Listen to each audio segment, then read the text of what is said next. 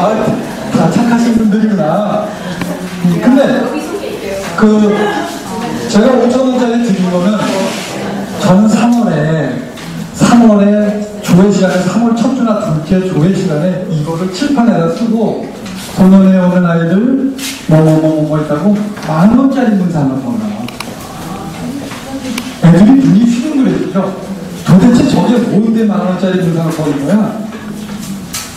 뭐냐 북한은 성격 다른 모든 것에서 차이가 없어요 소년에 오는 것과 그렇지 않은 것은 차이가 없어요 우욱해서 때려.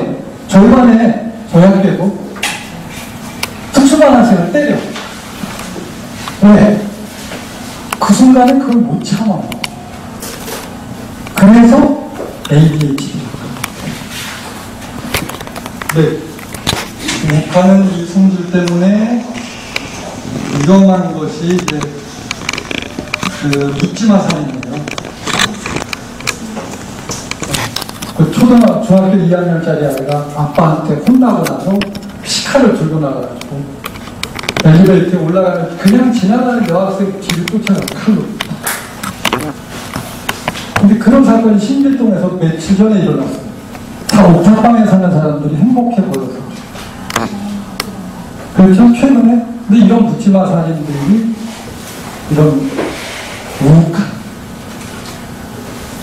박선생님 내년에 담임 하실 때 쓰시라고 드린 거예요. 부담 갖지 마세요.